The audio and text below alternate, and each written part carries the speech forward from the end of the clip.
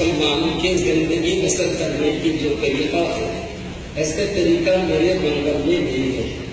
تو میرے خواہش اور ان لوگوں کے قرآن الکریم اور حدیث شریف کی اچھی بیان سنتے ہی میرے دل میں دینی خدمت کرنے کی ایک جوش اور جذبہ پیدا ہوتے ہیں۔ ایسے حالات میں میں یہ حضرت کے پاس درخواست پیش کیا ہے کہ میرے منگل میں جانا پڑے گا لوگوں کو۔ تو اللہ کا کرم ڈاکٹر طاہر الدین ہدایی استاد الاساتذہ رئیس العلماء جامعہ نوریہ کی جو خادم حضرت العلماء علی کی اسلحہ صاحب نے بھی میرے منگل میں تشریف لے گئے تھے اور استاد سیف الدین حضرت زبیر غلاوی ایسے بہت سارے علماء لوگوں کے قدم سے میرے منگل مشہور ہو گئے ہم نے بہت فخر سے فخر سے کام کر ان یہاں کا بہت سارے علماء میرے منگل کا حالات میں دیکھا ہے۔ حالات دیکھا ہے۔ پھر بہت استاد نے مجھے جو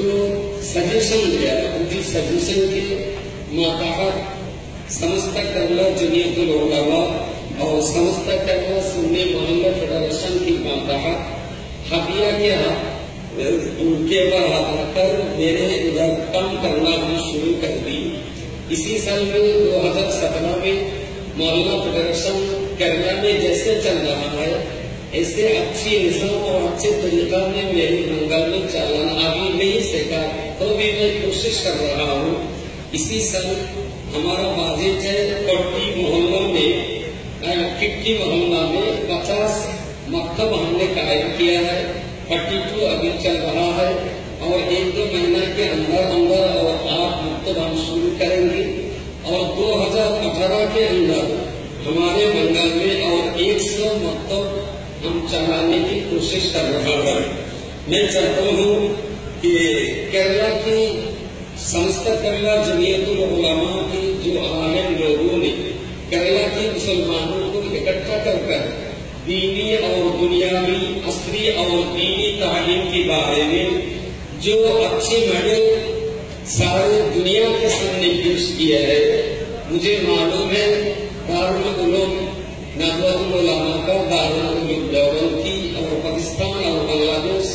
اور بہت سارے کنٹری کی سلیبس مجھے معلوم ہے۔ لیکن سمجھتا کرنا جمعیت العلماء کی جو سلیبس ہے، اس میں کمیونٹی کی ہاں، کمیونٹی کو آگے بڑھانے کے لیے یہ سلیبس میرے نظر میں بہت اچھی معلوم ہو گئی ہے۔ اسی لیے میں چاہتا ہوں کہ میرے منگل کو تبدیلی کرنے کے لیے کیرلا کی میڈل میرے منگل میں میں استعمال کرنے کی کوشش کر رہا ہوں۔ میں لیکچر دینے کے لیے آیا نہیں آپ لوگوں کے پاس سے تعلیمت حاصل کرنے کے لیے آئے ہیں۔ میرے لیے دعا فرمانا۔ اور میری امید ہے، سمجھتا کرنا جمعیت العلماء جس طریقہ سے کام کر رہا ہے، ایسے طریقہ سے اگر آئندہ آنے والے بیس سال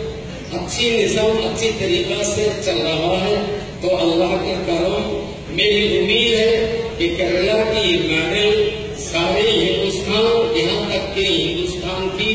باہر میں بھی کیرلا کی یہ رشنی سے پیدا ہو جائے گی انشاءاللہ۔ میں آپ لوگوں کے پاس دعا مانگی ہوئی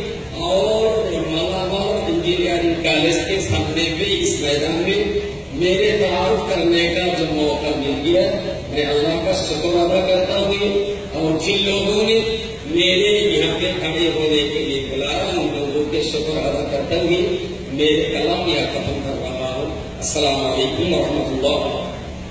بہت ہی